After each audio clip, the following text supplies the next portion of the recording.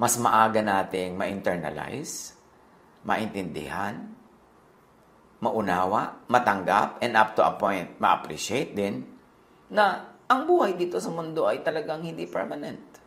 Tayo'y dumadaan lang dito at darating at darating yung panahon na tayo ilalampas na sa finish line, sa boundary, at lilipat na tayo sa kabilang buhay.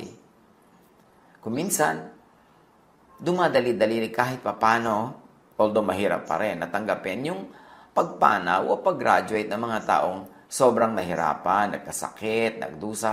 Kaya kung minsan nalulungkot ka man at sila ay sumakabilang buhay, pero meron kang konting relief sa iyong puso na at least naibsa na ang kanilang pagdurusa, natapos na ang kanilang paghihirap at sila ay nando na sa comfort, sa rest with God.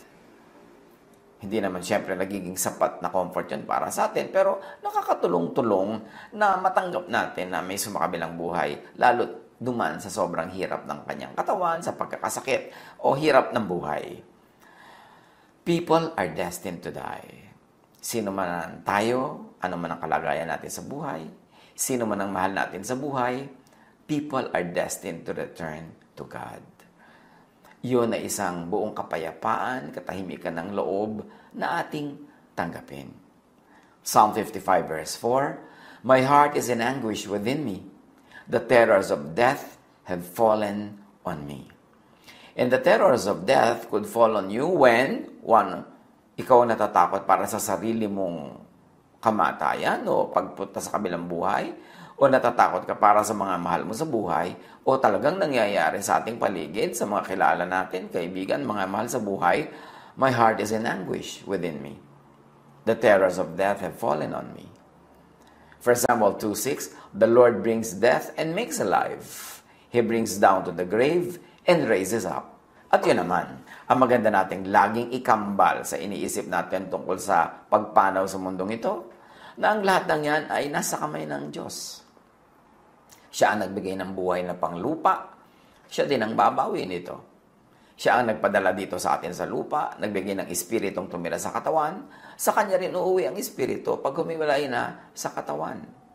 And it should give us immense comfort and trust and peace na ang espiritu'y umuuwi sa Diyos. Hindi siya namamatay. The spirit is indestructible. Siya ay umuuwi sa kanyang pinanggalingan at ang pinanggalingan ay ang Panginoong Diyos. How to face death. Una, huwag magdrama ng sobra-sobra. Sulitin na lang ang buhay. Total, ang buhay ay pahiram. Ang buhay ay may deadline, may finish line. Bago ka dumating doon, sulitin. Para hindi masyadong masama ang loob o walang sama ng loob kung uuwi na sa kabilang buhay. At paano sinusulit ang buhay? Live your real life. Be the real you as soon as possible. Mahirap yung hindi ikaw yan, na fake ka. Yung totoo mong buhay, hindi mo na ipapamuhay because you are role-playing, because you are doing according to the expectations of people, of society, of the world. Dapat hanggat maaga maging totoo sa sarili para yung kaunting panahon na pahiram dito, masulit that you lived your real life. John 10.10, Dumarating ang magnanakaw para lang magnakaw, pumatay at manira. Naparito ako upang ang mga tupa ay magkaroon ng buhay, buhay na masaganang lubos. Ang Panginoong Hesus daw ay dumating, di tulad ng magnanakaw na nagnanakaw, pumapatay at naninira, naparito siya upang tayo ay magkaroon ng buhay, buhay na masagana at lubos. At yung masagana at lubos na buhay is a life lived in truth. Yung bulaklak na buhay bilang bulaklak, edi malantaman siya bukas, sulit. Pero kung siya ay bulaklak at nagpretend siyang lollipop, nagpretend siyang batya, nagpretend siyang kumot, tapos naluoy na siya, edi hindi niya na ibuhay, na ipamuhay yung totoo niya. Hindi sulit. Kaya dapat sulitin. At ang pagsulit ng buhay ay nasa katotohanan, maging totoo sa sarili. At dapat din tayo, bigyan natin yung kapwa ng kalayaan na maging totoo sa sarili niya. Huwag natin siyang ikulong sa ating mga expectation.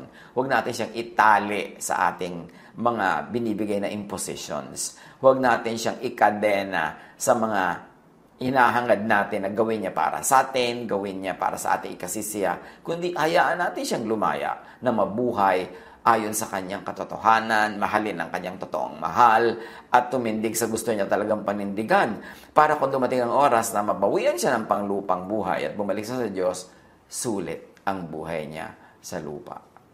Ecclesiastes 3, 12-13 Alam kong walang pinakamabuti sa tao kundi magpakaligaya at gawin ang pinakamabuti habang siya'y nabubuhay alam ko rin kaloob ng Diyos na ang tao'y kumain, uminom at pakinabangan ang bunga ng kanyang pinagpaguran. So magpakaligaya, gawin ang pinakamabuti habang nabubuhay. Kasi yung buhay na yan, magkakaroon ng deadline, magkakaroon ng finish line, matatapos. Babalik tayo sa Panginoon, so yung journey mo dapat dito sa lupa, sumulit. So, magpakaligaya at gawin ang pinakamabuti habang siya'y nabubuhay. Hindi laging ganyan ang turo ng mga religion. Ha? Tinuturo ng marami magtiis, magdusa, magpakahirap, magpakasakit, at bumawi na lang daw sa langit. Bakit ka pa ipinadala dito ng Diyos? Kung yung pala sa langit ka nalang babawi, di dapat di ka na umalis doon in the first place. Kaya sabi ni Jesus, dumating ako para imulat ang inyong mga mata, para paligayahin ang inyong buhay. Gusto ko ang buhay na inyong ipapamuhay ay sulit, masaya, puno, at hindi kulang. Ecclesiastes 8.15 Kaya para sa akin, ang tao ay dapat magpakasaya sa buhay. Walang pinakamabuti kundi kumain, uminom at magsaya. Ito ay magagawa niya habang siya ay nabubuhay at nagpapakapagod sa mundong ito. And of course, Solomon was not called the wisest man ever for nothing. Siya ang pinakamatalino sa lahat. So pakinggan natin ang sinasabi niya. At hindi siya nag-advocate ng sakripisyo. Hindi siya nag-advocate ng pagdurusa, ng pagtitiis. Kundi gawin mo yung marapat, anihin mo ang bunga ng iyong itinanim. Siyempre, may mga sacrifices that are necessary. Pero hindi lahat ng sacrifices na itinuturo ng religion ay necessary. Karamihan, dahil akala lang nila yun ang gusto ng Diyos. Pero sinabi na nga ni Jesus, no. Ang gusto ng Ama, kaya niya ako ipinadala is that so that you might have life and have it abundantly, have it to the full. How to face death? Huwag magdrama. Sulitin na lang ang buhay. Love your true love. Lalo't malaya ka pa. O lalo't malaya ka, love your true love. Ecclesiastes 9, 9 to 10 magpakaligaya ka sa piling ng babaeng iyong minamahal habang ikaw ay nabubuhay sa mundong ito sapagkat yun ang bahagi at bunga ng iyong pinagpaguran sa maikling buhay na ito.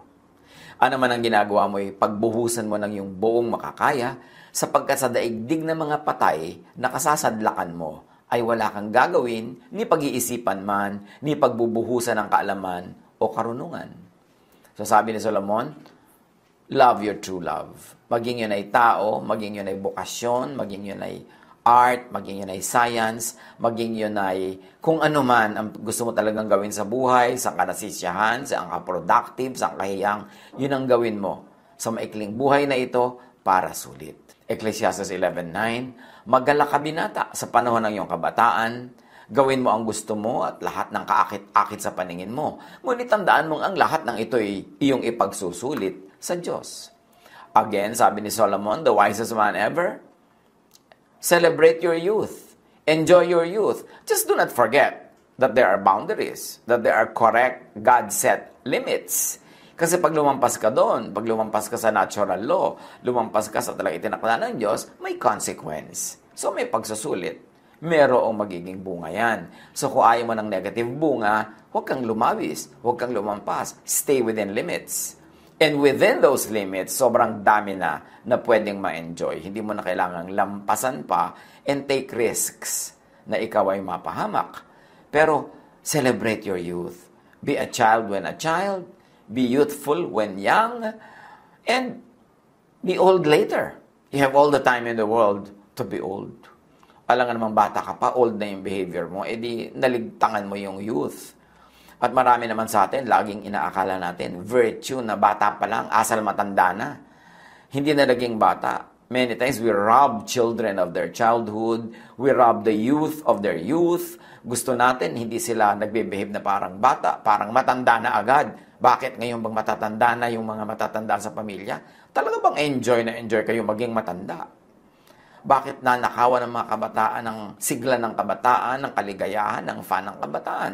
But all within correct and godly limits. Ha? Let me emphasize that. Pero konti lang yung limits na yun na sinet ng Diyos. At karamihan, makikita mo sa natural law, sa limits ng natural law.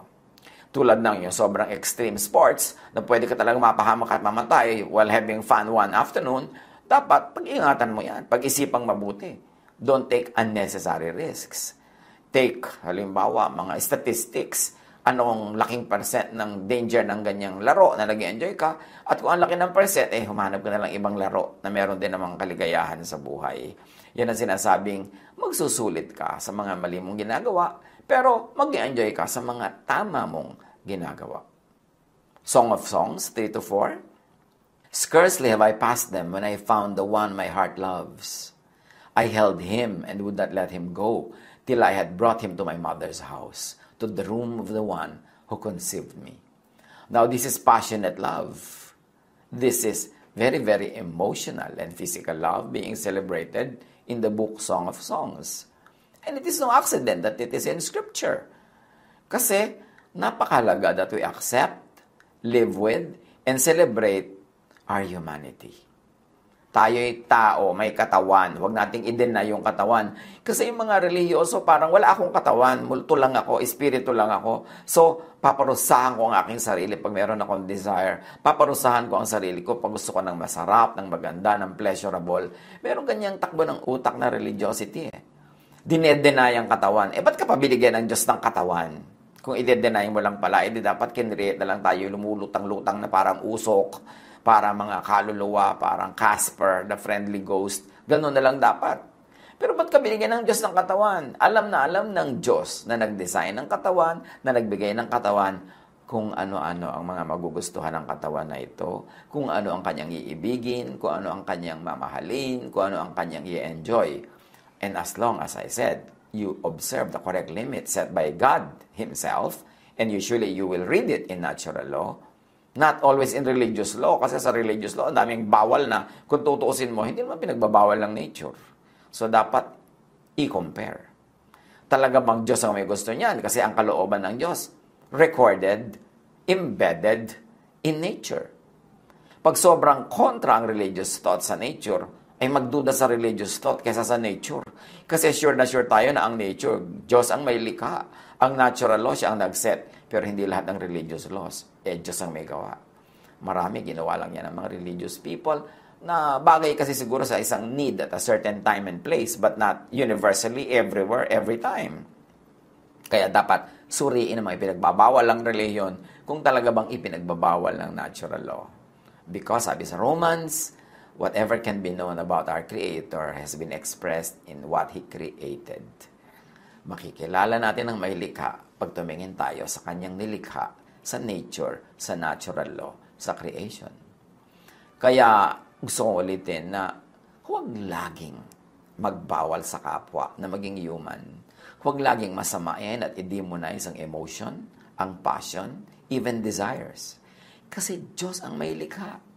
Pag tinignan natin ating katawan, all the nerve endings are in the right places to correctly address the needs of people. Biological needs, psychological needs, emotional needs, mental needs, spiritual needs. Halos kitang-kita mo sa design ng katawan kung paano ang lahat ng ito ay masasatisfy at kung ano ang saysay ng mga ito. Huwag laging parusahan ang sarili pagka meron tayong mga tinatawag na earthly desires. Eh talaga namang nasa earth tayo. Alangan mang walang earth, eh earthly nga tayo. Nandito nga tayo sa lupang katawan, doon mo i-deny. Napakahirap sa isip sa espiritu, sa emosyon, na i-deny yan. You'll always demonize yourself for feeling this way, for wanting this, for desiring this. Tapos kahit ano namang denial mo, nandun pa rin. Kahit anong pigil mo, nandun pa rin. Magigilty ka lang tuloy. Paano ka magkakaroon ng peace kung guilt ang umanda sa iyong buhay? That's why Jesus came to destroy the law, to set us free from guilt, to set us free from the punishment of the law, which we cannot obey all the time anyway. Mahalagang maunawaan natin ang Jesusness. That Jesus sets free so we can be human while we are in this body. And then, of course, when our spirit separates from the body, that's when we become full-time spiritual beings. But right now, we are full-time spiritual and physical beings. Huwag natin yun i-deny. Accept, live with, and even celebrate your humanity. Do not deny your passions, your emotions, your desires. God-given yan. Then minimize pain, maximize pleasure, do the most good. Lagi natin yung inuungkat-ungkat at sinasabi-sabi para sulit ang buhay. Sa dami na kasi nang nakita ng ating mga mata na nabuhay, tapos ay sumakabilang buhay, tapos ang daming regrets. Regret niya nung siya sa kabilang buhay na, o regret ng iba para sa kanya. Minimize pain. Huwag dagdagan ng pain kaya huwag nang hampasin ang sarili, huwag nang sugatan ang sarili, pahirapan ang sarili, gutumin lagi ang sarili in the name of God kasi hindi naman yun ang will ng Diyos para sa atin. Sabi ni Solomon, eat! So long as ay ani mo, itinanim mo, enjoyin mo ang bunga ng iyong pinagpaguran. Romans 8.18, para sa akin, ang mga pagtitiis dati sa kasalukuyan ay hindi mahihahambing sa kaluwalhatiang ipahahayag sa atin balang araw. Yes, totoo yung mga pain natin ngayon is nothing compared to the joys of tomorrow, but nonetheless, minimize present pain. Hindi naman como makajos ka, ibig sabihin, dadagdagan mo yung pain dahil hindi naman ikinakatuwa ng Diyos that we are living in pain. Hindi naman dahil makajos ka, lagi man tatanggihan ang yung sikmura, tatanggihan mo ang iyong mata, tatanggihan mo ang iyong tainga. Kahit sa mga bagay na hindi naman ipinagbabawal ng Diyos at religion lang pala yun ang babawal. Ang religion naman kasi, meron pang satanic music, meron pang godly music. Lahat ng music sa Diyos. Kasi ang sound created by God. The notes were created by God. Ngayon, yung mga words kumisa ng mga ibang kanta, hindi God glorifying, then yun lang ang iwasan.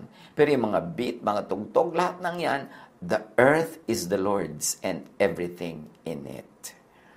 Huwag naman ang lapad-lapad ng kalsada tapos doon sa puting guhit ka lang sa gitna tutungtong ang limit-limit tuloy ng mga pwede mong ma-enjoy sa buhay samantalang malapad ang kalsada at marami kang pwedeng daanan at putahan. Huwag paliitin ang mundo, huwag pakitirin ang utak at huwag bawasan ang mga kaligayahan at lalong huwag dagdagan ang mga paghihirap na akala natin ikinatutuwa ng Diyos. Importante. Ecclesiastes 2, 22 to 23 Nagpapakapagod at nagpapakahirap ng husto sa mundong ito ang isang tao. Ngunit para saan ba ang pagpapagod na ito? Ano mang gawin ng tao ay nagdudulot sa kanya ng balisa at hinanakit. May mga gabi pang hindi siya makatulog sa pag-iisip. Ito man ay walang kabuluhan. So minimize pain. Yung sobrang pagpapayaman, kung pain na ang dala sa iyong buhay, eh tama na yung konting yaman na lang na masaya ka naman at maluwag ang kalooban. Yung sobrang perfectionist, gusto mo laging maganda, perfect, maayos ang lahat, pero masaya ka ba in the end? At isa pang tanong, masaya ba ang mga kasama mo sa buhay na perfectionist ka o hirap na hirap sila? Para sila mga nakatungtong sa dulo ng sibat, para silang mga lagi na lamang denumero ang gagawin kasi dapat perfect. Sino ba namang perfectionist ang masaya in the first place? So, kailangan matuto tayo to minimize pain, then maximize pleasure. Proverbs 10.22 the blessing of the Lord brings wealth without painful toil for it. Psalm 16:11 You make known to me the path of life. You will fill me with joy in your presence, with eternal pleasures at your right hand. Do not demonize pleasure. Basta ang pleasure ay hindi mo ninanakaw, hindi nakakaapi, hindi nakakapagpahirap sa kapwa. Do not deny yourself the pleasures that God would like you to enjoy. Ecclesiastes 2:10 I denied myself nothing my eyes desired. I refused my heart no pleasure. My heart took delight in all my labor, and this was the reward for all my toil. Sabi ko na, hindi ko tinikis ang aking sarili, hindi ko dinyeta ang aking sarili, hindi ko minenos ang mga pwede kong ma-enjoy sa buhay, basta pinagpaguran ko bunga ng pagpapagod ko. I earned it correctly. Hindi ko ninanakaw sa iba. Sabi ni Solomon, in-enjoy ko lahat yan. And remember, Solomon is the wisest man ever. So how do you sulit life? Minimize pain, maximize pleasure, do the most good. Hindi naman puro pleasure lang sa sarili. Do the most good, especially for and to others. Psalm 34:14, Turn from evil and do good. Psalm 37:3, Trust in the Lord and do good. Dwell in the land and enjoy safe pasture. Galatians 6:9, Let us not become weary in doing good, for at the proper time we will reap a harvest if we do not give up. So how to face death? Huwag magdrama. Sulitin na lang ang buhay. Be at peace with God. And the way of God is love. The way from God to us is love. And the way to God is love. Pag tayo'y maibigin sa kapwa, daig pa natin ang sumusunod sa lahat ng religious laws. Kasi ang religious law naman, dalawa lang yan eh. Love God and love others. Yun lang ang ending niyan. Eh pagka gumagawa ka ng mabuti sa kapwa, di ba loving ka na? Daig mo pa yung mga nag-aayuno. Daig mo pa yung mga sobrang nag-abstain. Daig mo pa yung sobrang nagtitiis at nagdurusa. Kasi yung nagtitiis, nagdurusa, it doesn't always mean na may ginagawa silang mabuti sa kapwa. Pero if you love others, it, mean, it means may ginagawa kang mabuti sa kapwa. So daig mo pa yung nagtitiis lang at nagdurusa. At kung ikaw ay at peace with God, you have maximized pleasure, minimized pain, you have done the most good, then, sumakabilang buhay pag oras na. Hindi rin naman yan talaga naiiwasan So, paghandaan na lang. And the best way na paghahanda, eh hindi puro pagtitiis sa buhay, hindi puro pagdurusa na hindi naman hinihingi ng Diyos, kundi minimize pain, maximize pleasure, do the most good, then ready ka na na sumakabilang buhay, lipat ka naman sa kabila. Ecclesiastes 12.1 Alalahanin mo ang iyong manlilikha sa panahon ng iyong kabataan bago dumating ang araw at taon na puno ng kaguluhan, panahong hindi mo na madama ang tamis ng mabuhay. Again, hindi distort na naman ito ng mga mahilig magparusa, mahilig magpahirap sa buhay.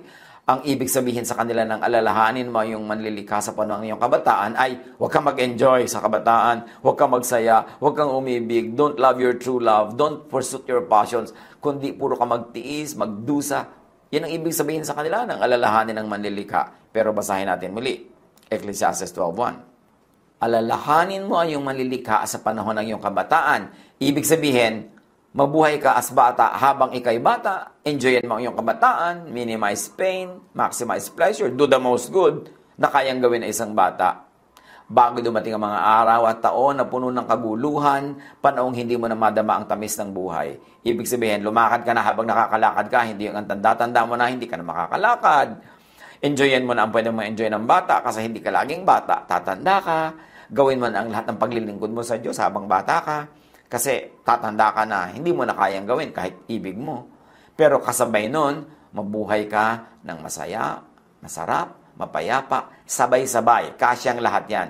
Hindi kailangang isacrifice ang pag-enjoy, hindi kailangang isacrifice ang pagiging tunay na youthful living para lamang ka maging godly because part of godliness is to enjoy every stage of life that is God-given.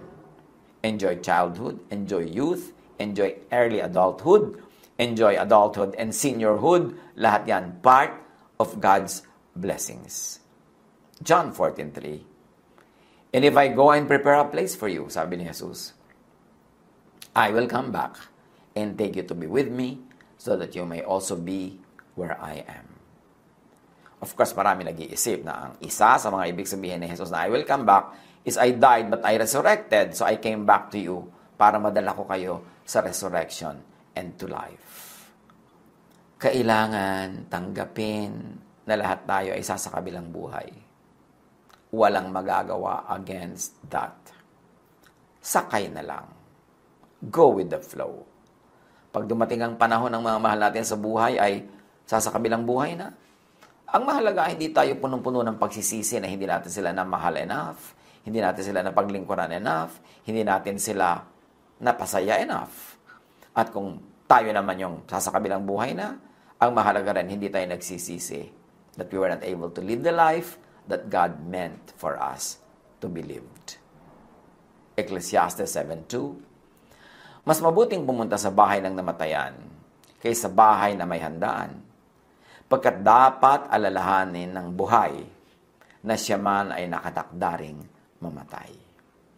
Mahalaga nagpupunta ka sa mga funerals, at sa mga panahon na ito, remember, may social distancing, so iba ang panahon, so iba ang ating behavior.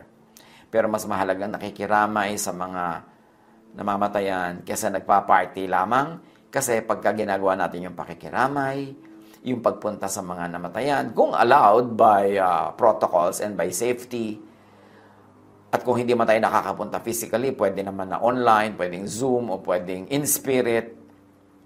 Ang mahalaga, we face death, the death of others, the death of ourselves, with the love of God in our hearts, without regrets, even with gratitude. Pagka nagawa natin ang dapat gawin sa buhay, minimize pain, maximize pleasure, do the most good, serve God even when you are having fun, serve God even when you are enjoying life, and serve God even when you are not having fun or not enjoying and when you are sacrificing once in a while. Hindi kailangang ilimit sa mga kalungkutan lamang na pinopromote ng maraming religious teachings. Paano susulitin ang buhay? Paano matatanggap ang pagsakabilang buhay pag dumating? Live to the fullest. Then go home to your Maker. Let our loved ones, let others live to the fullest, and then let them go home to their Maker. Job 30:23. I know you will bring me down to death, to the place appointed for all the living. Alam yun ni Job, tinatanggap yun ni Job. Ecclesiastes 3:1-2. Ang lahat sa mundong ito ay may kanya-kanyang panahon. May kanya-kanyang oras. Ang panahon ng pagsilang at panahon ng pagkamatay. It's a fact of life. It's pointless to wrestle with it. Live with it and then die to it. Kasi yun naman talagang itinakda ng ating Panginoon. Ecclesiastes 12.7 At death, the dust returns to the ground it came from, and the spirit returns to God who gave it.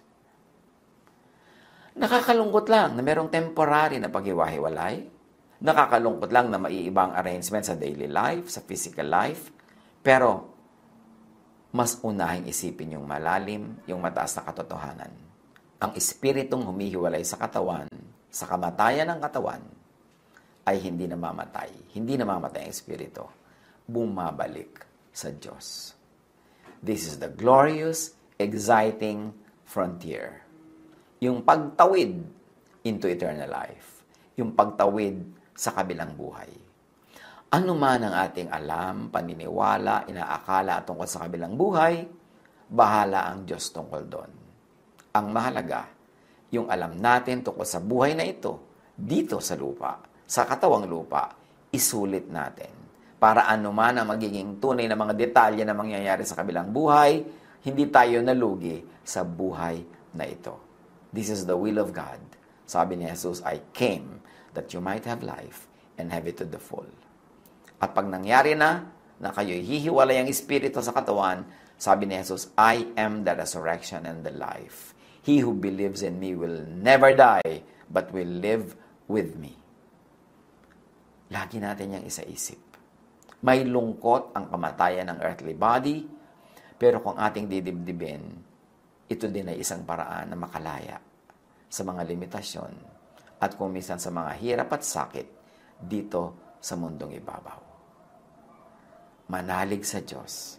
Ipasa Diyos ang buhay dito sa lupa at ang kabilang buhay.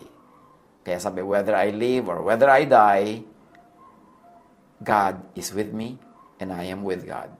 Therefore, to live is Christ and to die is even gain.